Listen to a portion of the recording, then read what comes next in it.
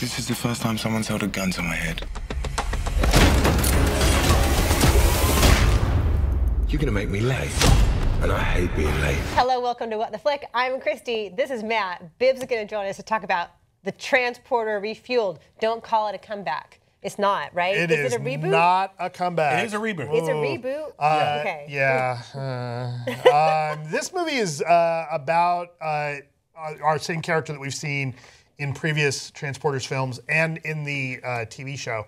Um, Frank is a guy who drives a German sports car, in this case, an Audi.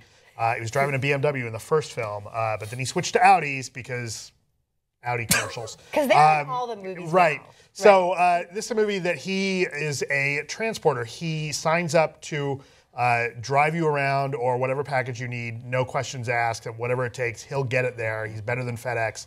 Uh, and he also has this magical car that no matter what you do to it, you can hit fire hydrants, you can drive through fences, you can scrape other cars, and the car is apparently made of adamantium because it still looks perfect. Damn, I Let's gotta get an watch clip. Audi. gotta get an Audi. An Audi S8.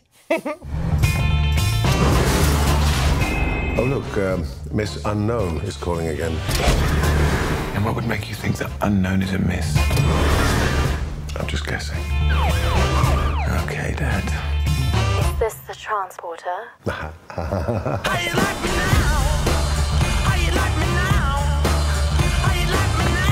are the packages? What's this? You should go. Out the car, all of you now. No one's getting out of the car. Now drive. Seatbelts now.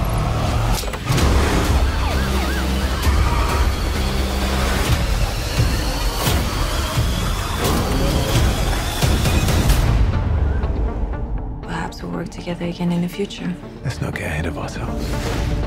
The Mediterranean Bank has been robbed before. But never like this. The driver. He's known as a transporter. We will make him pay. May I be of some assistance? Hello, Frank. Who is this? You and your friends took something from me, and I've taken something from you. I'll give you 12 hours to find your father before I kill him.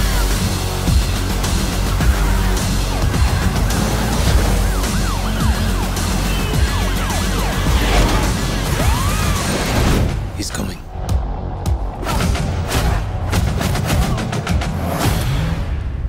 We're gonna need more men. All right, so uh, I did not like this movie. I was now. I will say yes. You're right. There were there were some You over the top laughs. say. You know what I'm gonna There- say. Yes, you and I sat next to each other in the screening, and there were some points at which I was laughing and I thought it was funny. Um, and there were some. There were a couple of good scenes, but they made me think of some of the other transporter movies, especially the first one, where these these great over the top scenes, one after another, and mm-hmm. this one has, you know, it's only like a little slice of what I think we used to see when Luc Besson was producing these great movies, and you had Statham doing these these great over the top action sequences. Well, that makes a this big one, difference. This one's a huge. It's a letdown. You know, if you had started this fresh and it wasn't the transporter, it might be a little bit. I'd be a little bit more open to it. But I think that the deck is stacked against you. Even when you're doing something where the consistency of these films, the bar is set so low. I think part of the problem is the lead here doesn't have the charisma. Right. I think Ed Skrein. Skrein, Is that how you say it? He's, he's been done Game of Thrones. Yeah, He's, don't he's briefly on Game of Thrones Briefly. and he left to do this. Yeah, I don't know that that's. tall, I don't know that that's a good.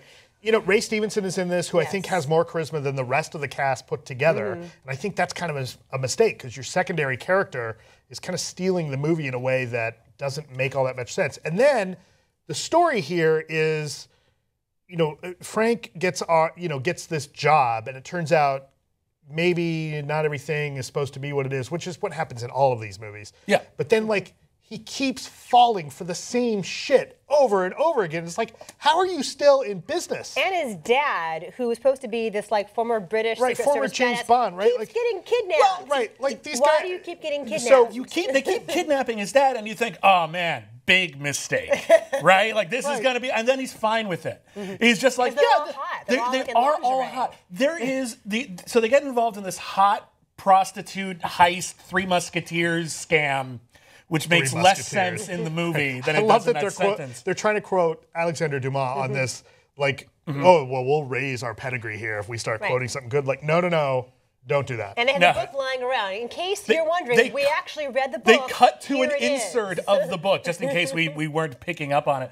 And their whole plot, by the way, their whole plot is like it's super complicated, but they don't let us in on it until really late, so it's hard to even latch on to what's happening and why we should even give a damn. And then by the end of the movie, it turns out their entire plot could have been reduced to all we gotta do is just kill all these guys and steal their thumbs. Right. You could have just done that. Right. Like none of this whole movie was necessary Oh, yeah, at all. Oh, yeah. None of it was at was necessary at all. And then like even just there's just so much stuff in this movie that there's good dumb and there's bad dumb. There's there's different kinds of dumb. Some dumb is more entertaining than others. The first two transporter movies, wonderfully dumb. Mm-hmm. I love the first two transporter movies. The third transporter movie, evil. It's a No, it's terrible. not evil. It's No, so no, incompetently produced and written, and Yeah, the way that that, one- they that and one they than sexual- this one. uh, no, it is not. I just watched it. They sexually violate Frank Martin. He is he is actually like assaulted out of homosexuality in that movie. It's gross. And now here it's just generic. Except for bad plot points, like um, uh, the movie opens with like completely taking down the entire prostitution racket in the French Riviera by like shooting two guys and saying I'm in charge now, and then putting a 12 year old on the street who's played by a 30 year old, and Right. then 15 years later, she looks great. The years have been kind. like she really, and then and then like, oh god, and then there's a bit where one of them gets shot. One of them gets shot in the stomach. oh stomach. God, that was messed up. And then That they have like emergency cobweb triage, and then in the next scene, she's having giggly three-way sex. Maybe the cobwebs really worked. We don't know that the cobweb maybe. sugar combination does not work. Have you ever tried it? you know, Someone know. shoot me in the chest. I will tell you, like, no one me in the chest. there's there's parts of this movie that I started thinking like, did someone drop this whole script and pages went everywhere and they put it back together in the best way they thought and they were still missing five or six pages and things were out of order because Yeah. Yeah. there's things that happen in this movie and you're kind of like, wait, what? Like Yeah. what the? It, it things you seem out of order. Things, it, it's a mess. This movie's a mess, and I don't think even the action is that particularly well staged. There's a couple cool sequences. couple, but There's a bit where he ghost rides the whip while while Right. ke- while while hitting people. That's kind of fun. like that was all right. I'll the give him that. The thing with the fire hydrants is kind of fun. Yeah, the thing yes. with the jet ski on dry land is kind of fun. But I laughed right, out loud but at right, that. but That that's was like fun. three little tiny Here's sequences. the weird thing about that jet ski bit, though. They did that in the Transporter 2 already. Oh. Yeah. That was in the Transporter 2. Right. The opening of this movie where people like try to like steal his car while he's in the parking garage. Right. That's that's also from Transporter 2, Right. but it was better in Transporter 2 because those characters had more they were more interesting and there was a better fight Right. sequence. It's a weird repetition in this. And it's not like reboot where like, oh, well, we got to give them what we want. We got to re- remake these classic movies. So maybe they dropped all of the transporter scripts uh-huh. and put them together as best they could. It feels That's- like they took a leftover script from the Transporter TV series, which is better than this movie, by the way.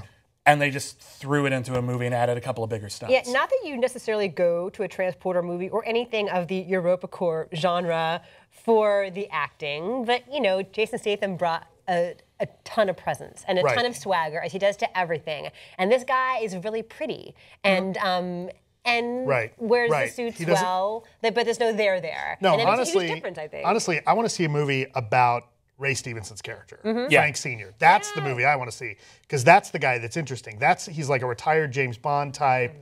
you know, and he's still got that charm, and he's very much channeling, God, almost uh, um, the second, uh, third, um, almost Roger Moore. Like he's almost Oh, doing Roger Moore, like. Yeah. you know, calling everyone wink, dear. wink yeah, it, and yes. he's he's still very, you know, kind of glamorous and and still very, you know, he's not getting down and dirty. He's, you know, I liked that character, and I kind of want to see a movie about him. Mm-hmm.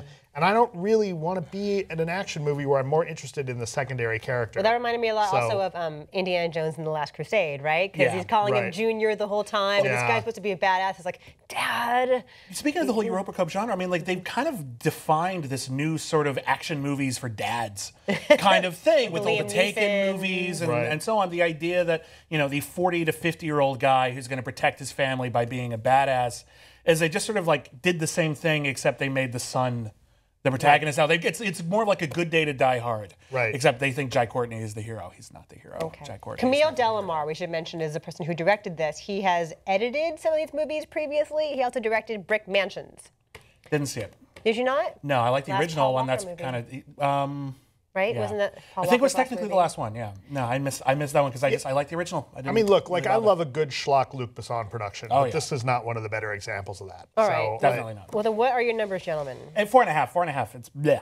Out of ten. It's Bleh, out of ten. Yeah. Sorry. What is yours? Uh, I give it a three. I'm saying this movie stinks. I'm saying four because I laughed here and there. It was good to hang out. We had a good time. Yeah. There's some fun, dumb stuff in it, but not consistent. Yeah, but we we'd had we still hadn't had enough booze.